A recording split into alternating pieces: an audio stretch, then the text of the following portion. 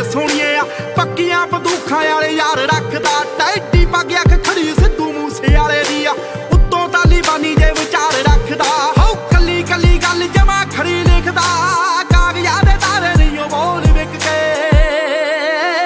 ਇੱਕ ਵਾਰੀ ਹੋਰ। ਹੋ ਸੋਚਣਾ ਦਾ ਜੱਟ ਨਹੀਂ ਯਕੀਨ ਮੁੱਢ ਤੋਂ। ਚਾਹੀ ਅੜੀਆਂ ਕਰੇਗੀ ਨੀ ਮਲਾ ਜੂ ਸੋਚਣਾ ਦਾ ਜੱਟ ਵੀ ਯਕੀਨ ਮੁੱਢ ਤੋਂ। ਚਾਹੀ ਅੜੀਆਂ ਕਰੇਗੀ